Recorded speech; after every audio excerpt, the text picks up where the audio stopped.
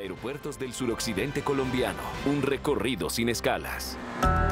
Telepacífico Noticias continúa con este recorrido por los aeropuertos de la región y llegamos al Álvaro Rey Zúñiga o Aeropuerto El Caraño, ubicado a dos kilómetros de la ciudad de Quibdó y que se constituye en uno de los más beneficiados con la transformación de su infraestructura en el país.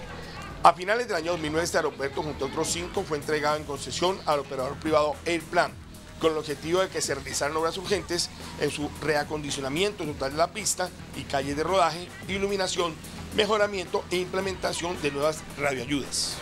No obstante las demoras, complicaciones, críticas y cuestionamientos, hoy se ve así el aeropuerto, transformado en el punto no solo de referencia de esta ciudad, sino también de confluencia de público, no solo para salir de viaje, sino de paseo por sus instalaciones. Para nosotros como quindoseños, como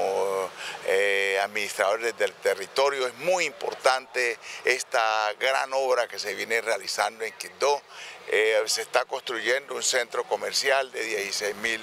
metros cuadrados de extensión, eh, tiene 48 locales comerciales, dos plazoletas, una de comida y otra de eventos, salas de cine, eh, importantes espacios para la niñez. Una de las mayores apuestas fue con la pista del aeropuerto, que de 1.400 metros y en donde solo podían aterrizar aeronaves pequeñas de no más de 70 pasajeros, con la ampliación a 1.800 metros podrán aterrizar aviones de 180 personas y que entrarán en operación el próximo 25 de abril. Cuando una ciudad logra transformar todo ese componente eh, que fomenta el desarrollo de una ciudad que va camino a esa transformación social que necesita nuestro territorio. Y hay que decirle a los colombianos, y aprovechemos la oportunidad,